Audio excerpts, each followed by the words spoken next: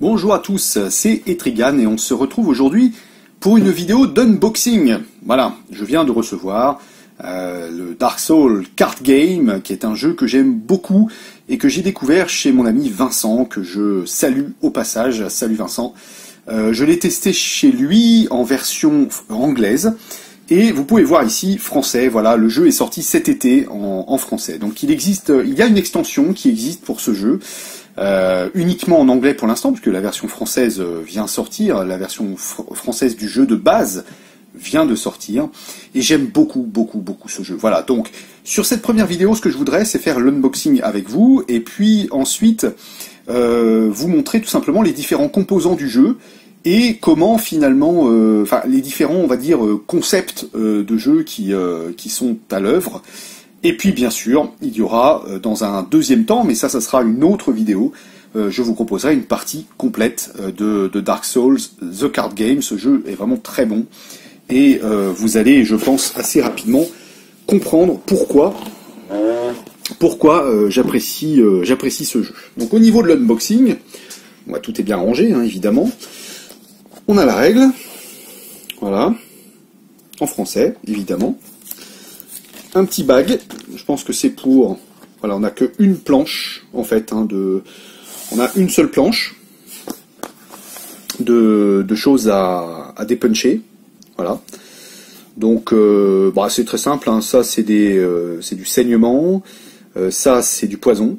C'est des états, ça, en fait. Hein. État état, comment, blessé, quoi. saignement, l'état empoisonné. Ça, ça doit être l'état congelé, je crois. Et ça, euh, je sais plus ce que ça fait. Je, euh, mince, je sais plus celui-là ce qu'il ce fait.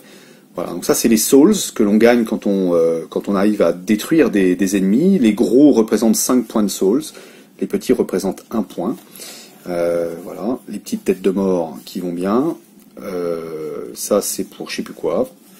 Falloir que je relise les règles au passage. Hein. alors, nous avons ici le plateau des aventures, parce que c'est ça qui est chouette, hein, c'est que c'est un jeu de deck building d'une certaine manière, euh, et oui, encore un. Euh, mais il y a des plateaux et, ça, euh, ça j'aime beaucoup. Hein. Donc ça, en fait, ce plateau, il est à, deux, côtés en fait, parce que en fait, tout dépend des deux boss que vous avez choisi, que vous choisissez d'affronter dans votre partie. Voilà. Donc il y a ces deux-là qui sont symbolisés par ces icônes. Et si on retourne le plateau, eh bien ces deux autres icônes euh, avec euh, deux autres boss euh, à affronter. Donc on affronte les boss deux par paire, en fait, hein, d'une certaine manière. Voilà. Et dans l'extension, j'ai vu qu'ils avaient ajouté un plateau supplémentaire avec des boss en plus, donc c'est cool, évidemment, pour diversifier le jeu. Un des points forts du jeu, un des trucs que j'adore dans ce jeu, véritablement, je pense que c'est son gros point fort, c'est les deux plateaux, en fait, que l'on met en vis-à-vis, -vis, qui sont en fait le plateau des ennemis, voilà, les ennemis vont venir se répandre ici dans ces différentes, euh, cases, et euh, les joueurs euh, sont placés également dans les différentes cases. Et en fait, on se met véritablement dans une espèce de face à face, d'accord? Et voilà, dans la disposition du jeu, hein, on recommande de mettre les plateaux en face à face, en vis-à-vis, parce que fait, les, les ennemis vont être face aux héros dans une espèce de face à face qui n'est pas sans rappeler des jeux comme, euh, euh, je sais pas moi, comme euh, Darkest Dungeon par exemple, ou des jeux de, stratégie tactique sur en jeu vidéo, hein, avec le positionnement qui est très important, etc. On va voir que certains ennemis frappent certaines cases, certains endroits, donc du coup il y a un placement stratégique à faire, et ça, ça, c'est une évolution du principe même du deck building que je trouve extrêmement, extrêmement intéressante. Donc vous voyez que finalement, c'est une petite boîte de jeu, hein, évidemment, comparée à certains euh, mastodontes euh, comme Gloomhaven ou, euh, ou même Mage Knight Ultimate, mais il y a du contenu dedans. Vous voyez, il y a ces trois plateaux, c'est vraiment chouette. Hein, c'est vraiment chouette. Le reste, ben, c'est des cartes, évidemment. Des cartes. on a une boîte qui n'est pas forcément extrêmement ergonomique, euh, à ce prix-là, en même temps, euh, le jeu il vaut 39,90€. Il y a quand même pas mal de, choses, hein, parce que l'air de rien, il y a tous ces plateaux, euh, il y a pas mal de cartes. donc 39,90, ça reste un prix relativement correct quand on voit effectivement à quel point les, jeux de société, les jeux de plateau peuvent atteindre des, sommes absolument astronomiques assez facilement. Là, évidemment, à ce prix-là, il faut pas rêver, nous n'avons pas de thermoformage. Hein, donc ça, c'est clair et net. On a plutôt, en fait, une espèce de voilà de carton là qui se soulève comme ça là, dans la plus pure tradition FFG. Voilà. Euh, bon, c'est pas forcément génial. On a des compartiments en, en carton ici, pour ranger les cartes. Donc on peut pas dire que ce soit effectivement euh, un rangement idéal euh, pour euh, pour ce jeu. enfin bon, c'est pas c'est pas très très grave, hein, on va pas non plus en faire un fromage. le jeu, au moins au moins il y a une chose qui est sûre, c'est que je trouve que pour 40 euros il y a du matos, hein, parce que vous voyez il y a des gros paquets de cartes comme ça, il y a les plateaux cartonnés qui sont là, il y a des il y a des pions qui sont ici. Moi je trouve que pour 40 balles on en a pour son argent. Et euh, en tout cas, ça se justifie, euh, vu le prix, on peut comprendre qu'il n'y ait pas euh, un rangement dans la boîte, un thermoformage qui soit idéal. Ça paraît plutôt logique, en fin de compte. Et voilà, hein, je veux dire, je pense que FFG vend régulièrement des jeux rubis sur l'ongle, très très chers, où il n'y a strictement aucun rangement dans, la boîte, hein, dans, le, plus pur mépris du, du joueur. je sais que euh, vous avez peut-être l'impression que je mène euh, constamment une fronde anti-FFG. C'est pas que je suis anti-FFG, pas du tout, euh, parce que j'ai presque envie de dire malheureusement FFG fait des bons jeux. je reviendrai presque à dire ça. Malheureusement ils font des bons jeux ces cons-là. Et ce que j'aime pas, c'est tout simplement la manière. Il y a deux choses que je déteste chez FFG c'est l'espèce de minimalisme des, boîtes alors qu'ils euh, alors qu'ils font des jeux qui euh, clairement euh, qui, se vendent quoi, qui leur apportent énormément de thunes et ils ne font pas l'effort de, proposer des boîtes avec des rangements à peu près corrects dans, dans, les boîtes. Ça, ça me gêne énormément. L'autre truc qui me gêne énormément, c'est qu'ils ne font pas l'effort non plus de fournir ces petits plus qui rendent le jeu tellement plus agréable, comme là par exemple des plateaux de jeu, euh, on a vu encore récemment sur la découverte de End of Fate Ordeals le magnifique euh, plateau de jeu Playmat euh, qui est fourni avec le jeu. Bon bah en attendant, moi quand j'ouvre la boîte du Seigneur des Anneaux JCE qui est ici, d'accord, il n'y a pas le moindre playmat dedans, il n'y a pas le moindre plateau de jeu, c'est à vous d'acheter des trucs en surplus, etc., etc. Ils se foutent un peu de la gueule du monde. Et puis enfin, il y a cette logique, cette politique tarifaire qui est quand même excessive, je trouve, euh, quand on sait qu'un horreur à Arkham comme celui-là, les paquets chapitres que vous voyez empilés au-dessus, euh, c'est quand même 15 balles le paquet chapitre. dedans, il y a 60 malheureuses cartes. Moi, je trouve ça carrément abusé. Quoi. Au niveau des tarifs, je trouve qu'il y, a, une exploitation de, la passion du joueur que je trouve un tantinet scandaleuse. Voilà. Bon, enfin bon, c'est mon, mon avis. Hein. Donc, je vais faire un petit peu de rangement. Je vais dépuncher euh, le jeu et je vous retrouve aussitôt après.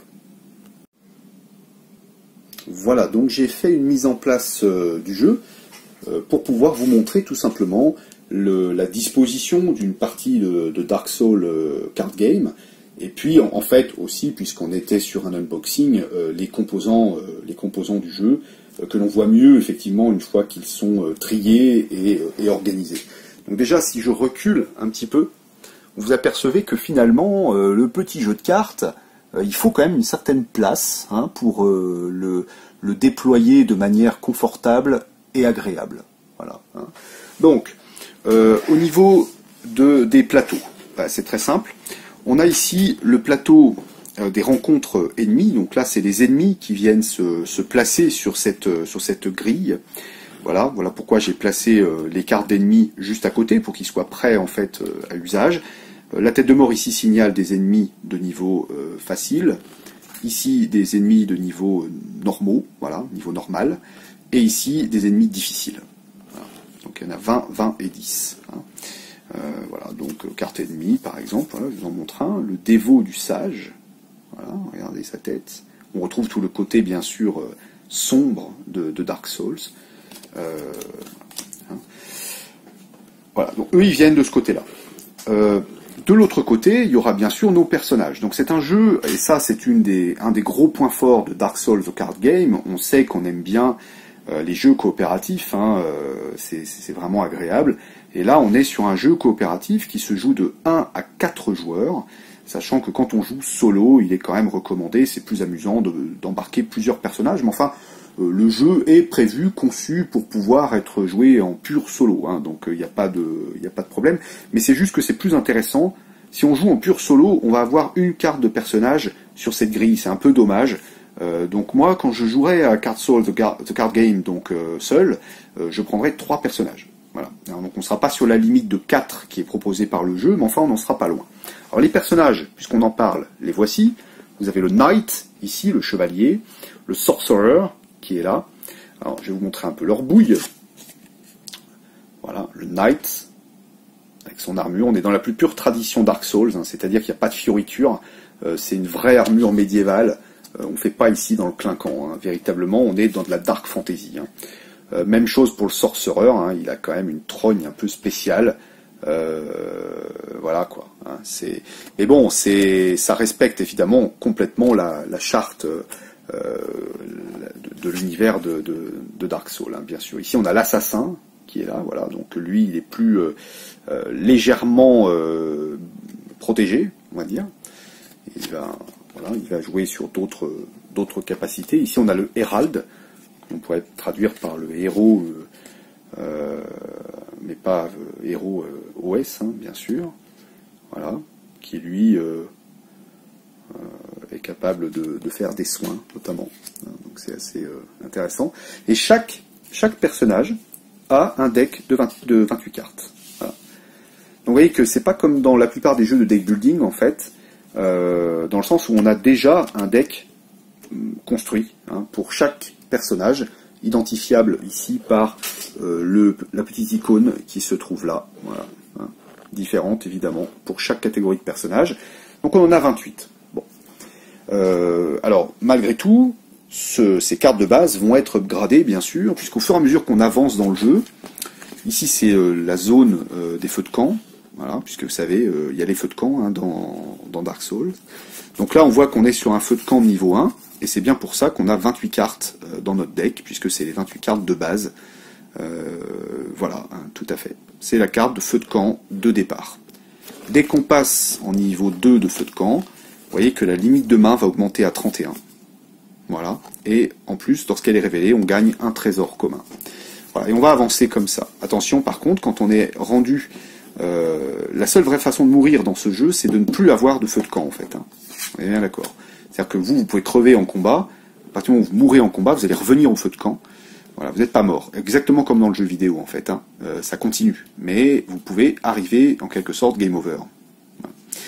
Ça, euh, c'est des cartes... Euh, les vestiges d'humanité, c'est quand, en fait, vous devez compléter votre main, voyez, parce que vous êtes passé, par exemple, en niveau 2 de, feu de camp et qu'il faut 31 cartes dans votre deck et que vous n'avez pas la possibilité dans votre inventaire d'avoir une, main, d'avoir un deck pardon, à 31 cartes. Dans ce cas-là, euh, vous avez le droit de, piocher, euh, il y a une réserve de vestiges d'humanité, vous avez le droit de compléter du coup votre deck avec ces cartes-là.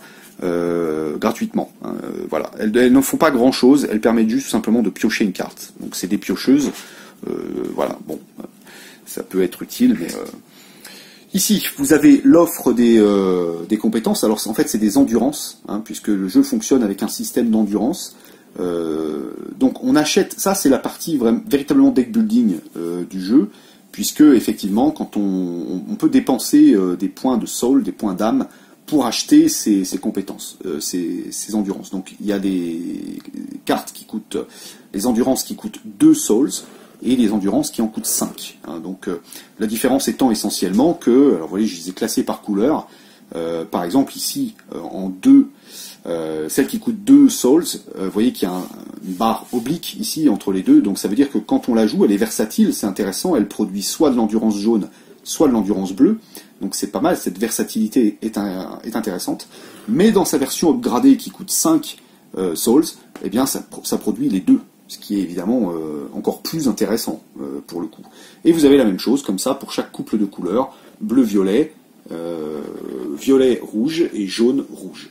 Donc ça, c'est les cartes que l'on achète avec les points de souls. Les souls, ils sont là. Hein. 5 souls, 1 soul. Et puis, évidemment, au fur et à mesure qu'on combat, qu'on vit des aventures, qu'on affronte des ennemis, puisque après tout, Dark Souls, c'est quand même un jeu de combat, hein, euh, on va révéler des, on va découvrir des équipements hein, qui vont venir se, qui vont venir en fait compléter notre notre deck. Alors il y a un bon petit tas. Hein. Euh, les équipements se déclinent en deux catégories. Vous avez les équipements euh, standards, ce qu'on appelle les coffres communs, voilà, qui sont signalés de cette manière-là, comme cette masse d'âme chercheuse de cristal, par exemple. Et puis vous avez les équipements plus rares, qu'on, il y en a beaucoup moins, qu'on voit pas forcément beaucoup dans une partie, voire pas du tout, qui sont signalés par un point bleu au-dessus ici. Donc ce sont euh, des équipements euh, euh, plus puissants et plus rares. Donc évidemment, quand on joue la partie, on, distingue bien ce tas-là de l'autre tas, on retourne tout ça, on mélange bien sûr les cartes, puisqu'on ne, sait pas ce qu'on récupère comme, comme trésor, naturellement. Hein. Voilà. Donc ça, c'est pour tout ce qui est la partie qui permet d'améliorer le joueur, avec de l'équipement, de l'équipement avancé, l'endurance, euh, le feu de camp avec les vestiges d'humanité éventuellement. Voilà. Euh, ça, c'est le principe. Les cartes joueurs avec les différentes classes, les ennemis, le plateau avec euh, la, le choc des placements de héros, etc. Et puis vous avez enfin la partie supérieure. La partie supérieure, c'est la partie en fait d'aventure. Ici, en fait, c'est le feu de camp. Donc les joueurs sont ici, en fait. et là où c'est véritablement excellent, Hein, c'est que vous allez cheminer. L'objectif est très simple, hein, c'est de défaire les deux boss. Ça, c'est pas, pas compliqué, hein, c'est vraiment un objectif euh, très axé euh, combat. Et en fin de compte, vous avez sur le plateau une indication de la difficulté de la rencontre euh, qui vous attend sur la, case où vous allez. Les difficultés de rencontre, on retrouve les symboles qui sont ici sur ces tas de cartes. Une épée, donc c'est des rencontres normales, plutôt, enfin on va dire faciles. Ça c'est normal et ça c'est difficile. Euh, voilà, deux épées et trois épées en, entrelacées. Euh, voilà. Donc par exemple, on démarre ici et on voit les chemins que l'on peut prendre. Hein, il y a cette dimension euh, exploration quand même dans, le jeu. Voilà, ici il faut bien faire attention, il y a bien un lien entre les deux. On peut passer de cette salle-là à celle-ci. Et les joueurs vont décider, donc par exemple dans une partie, on décide d'aller là en premier, donc on va piocher une carte là-bas. Et en fait, on va découvrir, on est ici dans des grottes grotte de carcasse, et en fonction du nombre de joueurs, 1, 2, 3 ou 4 joueurs, les euh, récompenses et les ennemis ne vont pas être les mêmes. Voilà. Donc par exemple, admettons, on vient ici, on retourne cette carte, et ce qui est intéressant, c'est qu'elle reste là. On, on révèle une carte dans une case une fois pour toutes, pour toute la partie. Si on arrive à vaincre les monstres qui sont ici, on va alors placer un jeton d'exploration qui est un jeton d'épée, pour indiquer que ça a été exploré, déjà. Comme ça, si jamais je me promène et que je reviens, je n'aurai pas à refaire la rencontre. En revanche, si je reviens au feu de camp, que je décide de me reposer, ou que je suis obligé de me reposer, alors à ce moment-là, euh, ceci sera enlevé, et si je retourne dans cette salle, je devrais refaire le combat. Donc admettons qu'on joue à deux, ou à trois, enfin admettons qu'on joue à deux, voilà, deux joueurs, eh bien vous voyez que par exemple, si on vient sur cette grotte de carcasse, on aura un trésor, qui sera un trésor commun, qui sera pioché si jamais on, y arrive, et il y aura deux mobs. Deux mobs avec un crâne. Autrement dit, deux mobs de niveau facile. C'est normal, c'est une rencontre de niveau 1. Il est bien évident qu'une rencontre de niveau 3, j'en prends une ici par exemple pour vous montrer, ne va pas réserver tout à fait les mêmes choses. Ici, sur une rencontre de niveau 3, on aurait par exemple un mob euh, normal et un mob difficile. Donc ça, par exemple, c'est euh, ici. Il n'y a qu'une seule case sur ce plateau avec trois, euh, trois épées. Donc là, par exemple, j'ai à piocher deux mobs normaux. Je les pioche. Donc là, je tombe sur le dévot du sage qu'on avait vu tout à l'heure. Et là où c'est véritablement excellent, j'adore, c'est un truc qui m'éclate, c'est que si, vous voyez, je renverse comme ça, je retrouve ma grille, et je sais donc où placer mon mob. Donc là, le dévot du sage, il va venir se mettre en bas, tout en haut, enfin en bas à gauche en réalité. Voilà. Il va être là, il va le positionner ici. Le deuxième, ça va être un esclave carcasse à flamberge, qui va être placé au beau milieu euh, du, plateau, et le voilà qui est placé ici. Et en fait, non seulement c'est indiqué en fait euh, où il se place dans le jeu, mais c'est également indiqué, on indique également quelle cible il attaque en priorité. Donc lui, par exemple, il va attaquer forcément en priorité la case qui est devant. Lui, là, le dévot, euh, il va cibler l'ennemi, le joueur qui est en face à l'arrière. Donc par là. Voilà. Et s'il n'y a personne en face, il va chercher d'autres cibles. Mais il y a une sorte de priorité dans les, euh, cibles. Nous, si on joue avec deux personnages, mettons on a un sorcier et on a un chevalier, on peut très bien décider que notre chevalier, par exemple, euh, notre sorcier, pardon, est placé ici, et notre chevalier, lui, sans peur et sans reproche, il se met au corps à corps devant. Et vous voyez bien que finalement, on va se retrouver avec une opposition entre, euh, sur, deux, grilles, et il ne faut pas oublier que dans, le, dans un combat, un joueur a le droit à un déplacement, d'accord, avant-arrière ou sur les côtés, et donc du coup, il y a véritablement une, tactique du, mouvement dans, dans ce jeu. Et ça, c'est véritablement intéressant. Ça, c'est très novateur. Et ça, ça éloigne le jeu de 80, 95% euh, des deck building existants actuellement. Euh, parce que ça, pour le coup, cette histoire de positionnement, etc., c'est quelque chose euh, qu'on ne trouve pas dans les autres jeux de deck building. On est bien d'accord. Au niveau des decks, au niveau des decks de, de joueurs, ce qui est intéressant, c'est que votre deck, c'est vos compétences, bien sûr, votre capacité à vous battre, à vous défendre, etc. Mais c'est aussi vos points de vie. C'est-à-dire qu'en début de partie, on mélange nos 28 cartes de base, d'accord? On mélange nos 28 cartes de base, et ça forme notre pioche, bien sûr, mais quand on joue des cartes, quand on perd des vies, on défausse des cartes, et en fait ça représente notre vie qui s'amenuise. Donc c'est une idée qui est intéressante parce que effectivement on ne peut pas piocher, enfin piocher comme un maboule euh, revient aussi à s'épuiser plus vite. Et soit on n'a plus de cartes, et dans ce cas-là, c'est pas terrible, parce qu'on se retrouve au feu de camp, mais on perd tout le loot, tout le dernier loot qui était en suspens, exactement comme dans le jeu vidéo. Euh, soit on voit qu'on a perdu trop de cartes trop vite et on retourne volontairement au feu de camp, et dans ce cas-là, on conserve le loot qu'on a, qu'on a récupéré.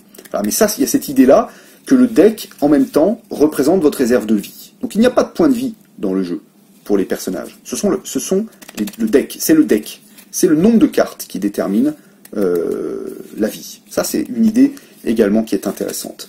L'autre idée, c'est que, et ça c'est super, par exemple, euh, cette épée courte, cette épée courte, qui appartient donc à cette catégorie-là d'attaque, euh, voilà comment on la joue. Vous avez des symboles qui sont ici. Soit je joue un symbole de flèche qui indique un recyclage, c'est-à-dire que je, dépense ça comme endurance pour faire un de blessure, pour faire une blessure, et je garde ma carte, elle reste dans ma main, je ne la défausse pas, soit je la défausse, mais ça, ça peut être embêtant, ça coûte moins cher, ça me coûte un jaune seulement, une endurance jaune, par contre ça fait plus de dégâts, euh, mais en revanche, je la défausse. Donc ça veut dire que si j'ai pas d'autres armes en main, je vais être embêté pour le tour d'après. Donc il y a toute une stratégie par rapport à ça. Et dans chaque deck, eh bien, il y a bien sûr différents équipements de base qui, sont euh, valables. Hein, attention, hein, c'est pas parce que c'est de l'équipement de base qui n'est pas bon, loin de là. Par exemple, ici, cette armure de chevalier qui, pour une endurance jaune en recyclable, protège de trois attaques, c'est très puissant. C'est très très très puissant. Euh, franchement, euh, c'est efficace. Quand on voit par exemple que l'esclave carcasse à flamberge inflige deux dégâts, eh bien, ça veut dire que cette euh, cette armure de chevalier bloque sans problème l'attaque d'un mob comme, euh, euh, comme, comme l'esclave carcasse. Hein, ça, le bloque véritablement. Donc vous avez les cartes d'équipement comme celle-là, et puis vous, allez, vous avez les fameuses endurances. Donc autrement dit, c'est un peu comme les terrains dans Magic, il faut avoir les bonnes couleurs de cartes, les bonnes endurances en main pour pouvoir, pour pouvoir activer les compétences, les cartes que l'on a. Or, vous voyez que dans un tas de 28, il y a en fait énormément de cartes compétences, euh, d'endurance, pardon, énormément de cartes endurance, et pas tant que ça de matos, en fait. Donc ça va être un des buts du jeu, euh, que de récupérer du matos et euh, d'upgrader. Euh, Et de la même manière, comme on fait un tri dans les cartes, de toute façon, quand on, quand on est au feu de camp, si on récupère des endurances meilleures, on vire celles qui sont moins bonnes. Voilà. On se débrouille pour toujours retomber sur la limite de cartes autorisée par le niveau actuel du feu de camp. tout ça est quand même très intéressant. Je veux dire, il y a des concepts de jeu ici qu'on ne voit pas forcément ailleurs. Et, parfois, on peut se retrouver dans des situations rageantes où on a euh, une super, euh, voilà, un super équipement qu'on ne peut pas activer parce qu'on n'a pas en main les cartes d'endurance qu'il faudrait. Très intéressant. Très, très, très, très intéressant. Moi, j'aime beaucoup ce système. C'est vraiment. Du coup, il n'y a pas de lancer de dés ni quoi que ce soit, euh, mais ça me va très, très bien. Voilà, grosso modo, comment se passe une partie. les joueurs se déplacent, voilà, dans ces différents euh, couloirs, secteurs de, ce donjon.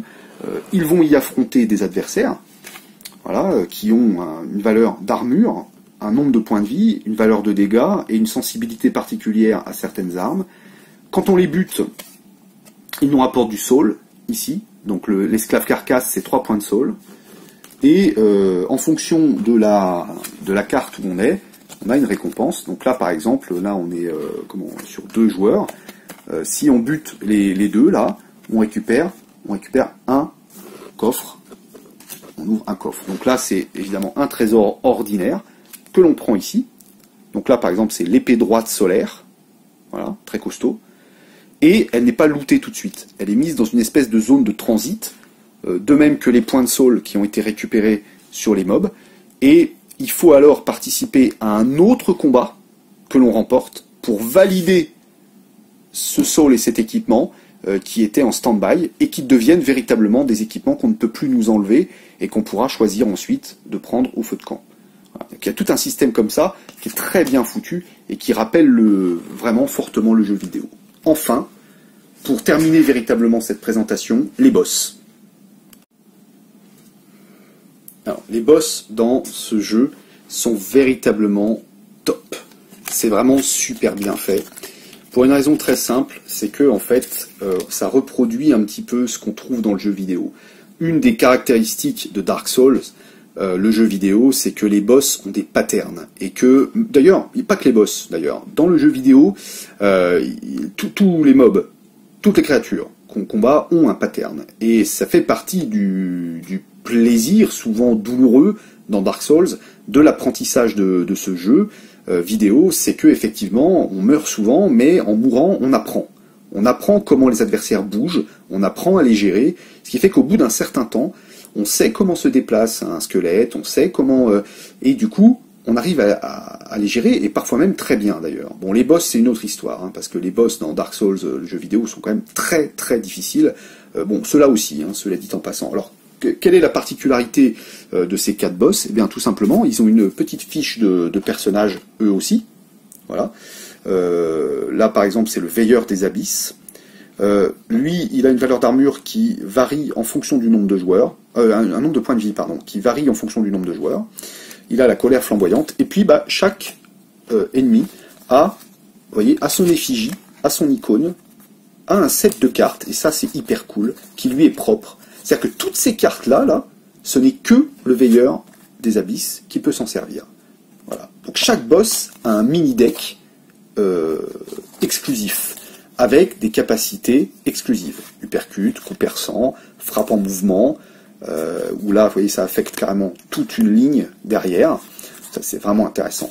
Et là où c'est intéressant aussi, c'est qu'en début de partie, quand vous démarrez et que vous savez que vous avez un boss, mettons celui-là, le veilleur des abysses, euh, vous, mélangez ces cartes, et quand vient le moment de l'affronter, bah, vous allez effectivement révéler ces cartes, l'une après l'autre, d'accord? Et une fois que vous avez joué toutes ces cartes, c'est là où c'est super intéressant, une fois que vous avez joué toutes ces cartes, vous reprenez le tas, et exactement comme dans Ion's End, vous ne mélangez pas. Vous retournez, et vous recommencez les attaques. Il y a un pattern, il y a comme dans le jeu vidéo, c'est-à-dire qu'il y a euh, véritablement quelque chose à mémoriser, et ça c'est très fort, parce que le joueur attentif, voire très attentif, parce que là, pour celui-là, il y a vraiment beaucoup de cartes, il y a des boss où il y en a un peu moins, euh, le, joueur attentif va pouvoir repérer le pattern, et va pouvoir éventuellement euh, se préparer. Vous voyez, je vous montrais une carte tout à l'heure qui affecte, c'est la frappe en mouvement, qui affecte la ligne de derrière entière. Ce genre de compétence, euh, s'il n'y a personne, s'il n'y a aucun joueur derrière, l'attaque sera ineffective. Vous voyez un peu ce que je veux dire? Donc ça veut dire que si le joueur, admettons, a vu sortir cette carte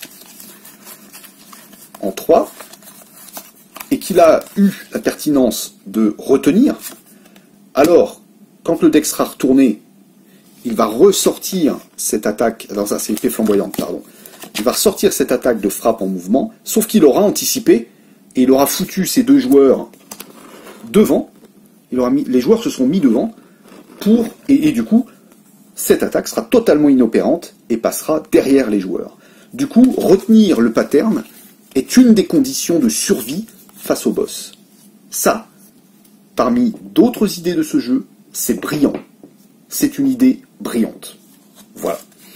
Donc, vous avez à peu près maintenant un aperçu à peu près complet de comment fonctionne ce, jeu. Euh, et euh, la prochaine vidéo qui sera consacrée à Dark Souls The Card Game, ça sera tout simplement une partie complète euh, où on prendra d'ailleurs ce plateau-là. On prendra ce plateau-là parce que bah, c'est le plus facile des deux côtés. Enfin, c'est celui qui est recommandé au départ. voilà, parce que de l'autre côté, c'est plus difficile. Les boss notamment sont plus durs. Donc il vaut mieux commencer par celui-là. Et croyez-moi, euh, n'allez surtout pas croire que, cette, euh, que ce côté-là est facile. On est bien dans l'univers de Dark Souls, le mot facile n'existe pas dans Dark Souls. L'extension, si vous vous posez la question, elle ajoute euh, des petites choses sympathiques. elle ajoute notamment, je crois, carrément, alors deux classes de personnages. ça, c'est vraiment chouette. Elle ajoute deux classes de personnages avec leurs 28 cartes qui va avec. Elle ajoute bien sûr du loot au niveau de l'inventaire. Elle ajoute un plateau ici, réversible. Euh, ça veut dire qu'il y a 4 boss de plus dans l'extension. Euh, c'est quand même pas rien. Et vous allez également ajouter, je crois, euh, des mobs ici et peut-être même des cartes de danger là-bas. Donc en fait, l'extension c'est vraiment une extension au sens strict du terme, c'est-à-dire qu'elle ajoute tout simplement tout un tas de choses sans pour autant bouleverser le, jeu de base. Je crois savoir, mais je ne l'ai pas hein, cette extension, donc ça sera à confirmer le jour où elle sortira. Euh, je crois qu'il y a peut-être euh, quoi, allez, un, ou deux concepts euh, qui s'ajoutent. Voilà, un ou deux concepts en plus qui viennent enrichir le, concept de base du jeu. Mais enfin bon, l'essentiel n'est pas bouleversé. Hein. On reste sur des bases qui sont à peu près identiques. Voilà. C'était Trigan donc pour la découverte, l'unboxing et la découverte de ce, de ce jeu, Dark Souls The Card Game. Et je vous dis donc à bientôt pour une partie complète de, de ce jeu. Ciao